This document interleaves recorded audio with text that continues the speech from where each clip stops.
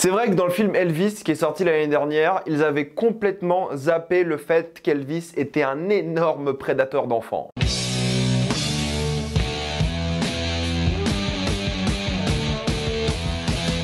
Priscilla Comme d'habitude, jusqu'à la minute indiquée dans le titre de la vidéo, il n'y aura pas de spoilers, tranquille, après on va tout spoiler. Priscilla est l'histoire d'une jeune adolescente qui n'est même pas encore au lycée, qui va rencontrer Elvis. En effet, Elvis est régulièrement à la recherche de jeunes femmes et celle-ci va tomber follement amoureuse de lui, mais malheureusement, ça va mal se passer. Priscilla est le nouveau film de Sofia Coppola, ça fait un petit moment qu'elle n'a pas fait de film, donc elle est un peu de retour, disons. C'est un film qui arrive aussi à un moment assez intéressant, parce que de une, c'est un film A24, qui a pas eu un budget colossal, mais euh, suffisant pour raconter cette histoire. Et ça se ressent un petit peu tout de même. C'est beaucoup filmé dans les mêmes endroits à chaque fois. Il n'y a pas forcément beaucoup de diversité. C'est pas l'extravagance évidente de l'Elvis qui est sorti l'année dernière. Et c'est ça aussi qui est intéressant contextuellement. C'est l'Elvis de l'année dernière. L'Elvis de l'année dernière qui était un hommage au performeur, à son image, à sa musique, à son talent. Quelque chose qui mettait vraiment en avant les côtés les plus positifs pas que évidemment de la personnalité. Là, Priscilla, c'est un film qui va évidemment parler de Priscilla avant tout, mais aussi donc de Elvis. C'est Kaylee Spaney qui interprète donc Priscilla, aussi une actrice qui va, je pense, beaucoup percer dans les années qui viennent. Elle a commencé avec des petits rôles à droite et à gauche, mais cette année, on la reverra par exemple dans Alien Romulus. Si le film cartonne, elle a des chances aussi d'être un peu plus connue du grand public. Et évidemment, Elvis interprété par Jacob Elordi, qui est vraiment l'une des stars montantes du moment. Il est littéralement partout et il va continuer d'être partout. Pour revenir à cette histoire de budget, c'est vrai qu'il n'y a pas forcément beaucoup de décors, pas forcément de lieux de tournage différents, il n'y a pas forcément des choses extravagantes, et c'est pas grave en soi, mais juste pour vous dire que vous attendez pas un gros film. Ça reste un film indépendant, d'auteur, avec un petit budget qui est suffisant pour l'histoire que le film veut raconter, mais je trouve que le film n'est pas vraiment impressionnant, que ce soit de la direction artistique, que ce soit par la musique d'époque, avec euh, ces moments en montage au piano, très peu de rock pour le coup, parce que c'est évidemment le point de vue de Priscilla avant tout, et elle avait vraiment une douceur, une innocence assez enfantine, et du coup c'est des musiques plus classiques, du piano par exemple. Évidemment c'est une reconstitution un petit peu de l'époque, avec les de cheveux, les costumes et les choses comme ça. Mais c'est vrai qu'il y a très peu de scènes en extérieur de une. Tout se passe un peu dans l'intimité de cette maison et une vraie raison à ça, c'est que le film c'est vraiment le point de vue de Priscilla et tout ce que Priscilla voyait, c'est l'intérieur d'une maison. Je vous dis juste, ne vous attendez pas à quelque chose d'énorme, de grandiose, c'est un petit film et c'est ok. Cependant, avec le budget qu'ils ont eu, ils ont réussi à faire de belles choses à certains moments. Il y a une belle photographie, je trouve. Il y a une belle composition avec la place des personnages, le jeu sur les couleurs. Il y a un vrai jeu qui est évident entre les différents personnages. Et quand je dis différents personnages, c'est qu'il y en a que deux, plus ou moins. C'est évidemment Priscilla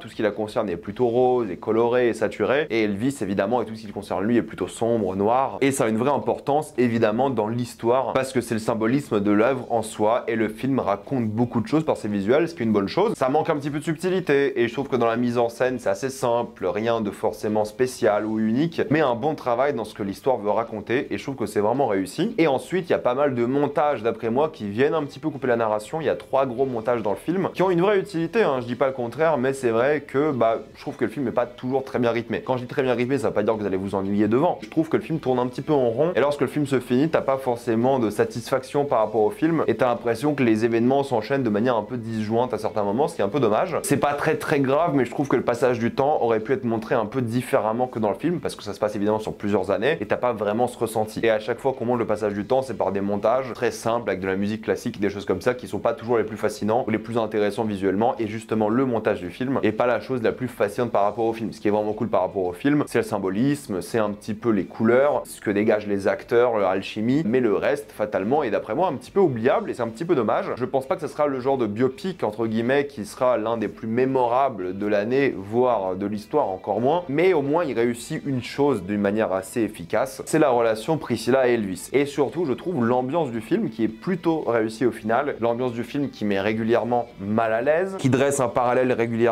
avec le côté féerique de l'œuvre, puis repasse dans quelque chose de plus anxiogène. L'ambiance est plutôt réussie. Par contre, en termes d'ambiance années 50-60, on n'y est pas vraiment, je trouve, on n'est pas vraiment immergé dans cette ambiance, même s'il y a un travail sur les costumes, décors, tout ça. Ce qui est intéressant dans l'ambiance, c'est le côté malsain. C'est le côté prédatorial des personnages. Les acteurs font un bon travail, je trouve qu'ils ont une bonne alchimie dans le côté vraiment proie, prédateur, vraiment intéressant. L'histoire est un petit peu plus complexe que juste un gars de 25 ans qui veut pêcher une gamine de 14 ans. De base, c'est assez malsain, surtout qu'il demande à ses proches d'aller littéralement chercher des jeunes filles dans des restaurants pour les inviter à des soirées, donc c'est hyper malsain, mais c'est un peu le but de l'histoire. Par contre, dans cette relation-là, tout de même, même si c'est une relation clairement dominante, clairement de manipulation, de grooming, il y a quand même une sorte d'âme, une sorte d'identité, et il y a un vrai amour qui se dégage par rapport au personnage de Priscilla. Mais il y a plusieurs degrés de lecture assez intéressants dans le sens où oui, ce qu'Elvis fait dans le film est évidemment dégueulasse, mais la manière dont cette jeune femme se fait manipuler nous permet d'avoir son point de vue à elle, où elle a l'impression d'être choisie, elle a l'impression d'être parfaite, elle a l'impression d'être désirée. Et c'est au fur et à mesure que ces choses-là disparaissent que la relation complique. Mais c'est vrai qu'au début, et même durant tout le film, il y a une sorte de beauté dont elle se rend pas compte, et c'est ça qui est intéressant, c'est qu'on prend le point de vue de ce personnage-là, et toi en tant que spectateur, quand tu vois la manipulation, tu vois le grooming, ça te met mal à l'aise évidemment. Mais il y a quand même une sorte de beauté qui sont allés chercher, que je trouve assez belle. C'est pas un film d'horreur en soi, c'est une histoire d'amour, certes dominée d'un côté plus que l'autre, mais j'aime beaucoup le rose et l'innocence de Priscilla. J'aime beaucoup la manière dont elle est obsédée par Elvis parce que ça donne quelque chose d'intéressant à la relation. Le côté jeune fille qui est beaucoup mis en avant. Ça reste une gamine qui est même pas au lycée. Elle est vraiment sexualisée,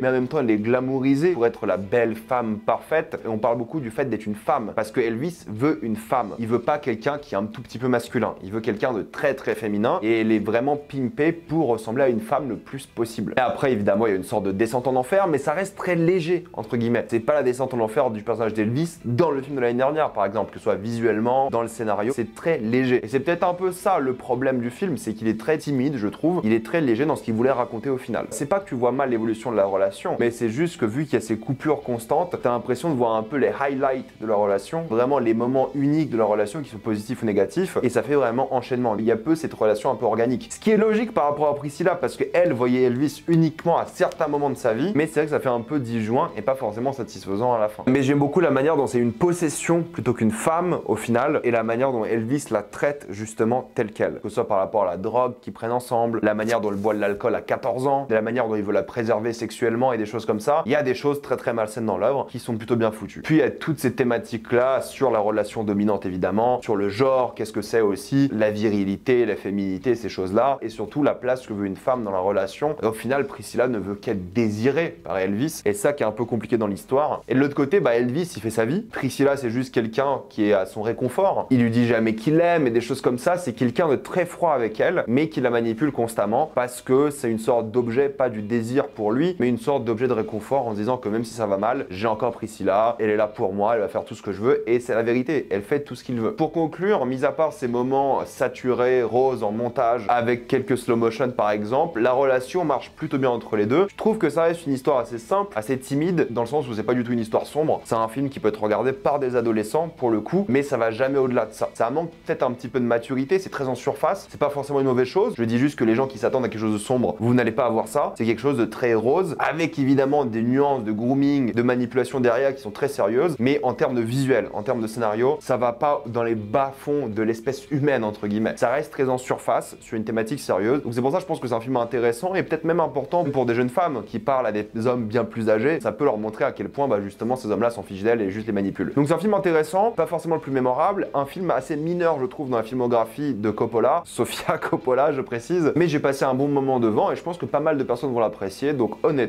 je peux quand même vous le conseiller pour les gens qui aiment ce genre d'histoire. Je trouve que c'est un bon film, mais je pense pas que beaucoup de personnes vont malheureusement s'en rappeler. Maintenant, on va rapidement passer en spoiler.